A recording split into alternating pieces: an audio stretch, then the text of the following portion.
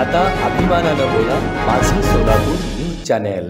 सोलापूर शहर परिसरात गेल्या अनेक महिन्यांपासून भर रस्त्यावर मोकाट जनावरांचा उच्छाद सुरू असून त्यामुळे अनेक लहान मोठे अपघात होत सोलापूर शहर परिसरात गेल्या अनेक महिन्यांपासून भर रस्त्यावर मोकाट जनावरांचा उच्छाद सुरू असून त्यामुळे अनेक लहान मोठे अपघात होत आहेत.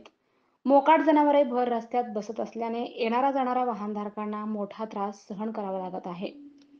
शहरातील कडवाई चौक बेगमपेठ विजापूर्वे सात रस्ता डॉक्टर बाबासाहेब आंबेडकर चौक जोडबसवाना चौक अशोक चौक आदी परिसरात मोकाट जनावरे रस्त्यात बिंदासपणे फिरतात.